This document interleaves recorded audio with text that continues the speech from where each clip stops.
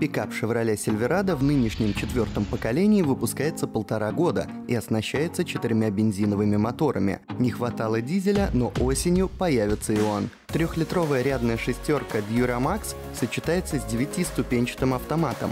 У нового дизеля алюминиевый блок цилиндров, два распредвала, четыре клапана на цилиндр и активная система терморегуляции, улучшающая прогрев и охлаждение в нужных частях двигателя. На американский рынок машина выйдет осенью.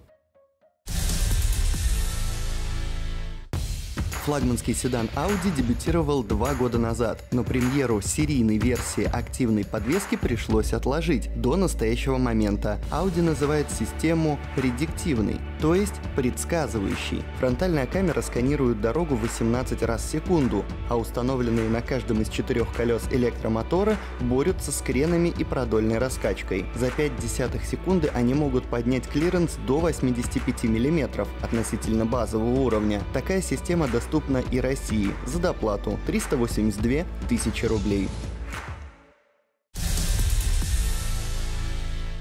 Подмосковье 353 камеры заработали по направлению движения потока, чтобы в поле зрения оказались и мотоциклисты. Как сообщает областной Минтранс, установлено 200 новых камер и развернуто 150 существующих. Фиксируют они не только превышение скорости, но и проезд на красный свет, движение по обочине и встречной полосе. Камеры установлены на федеральных трассах М1, М4, М5, М7, М9, а также на Пятницком, Волоколамском, Щелковском и Носовихинском шоссе.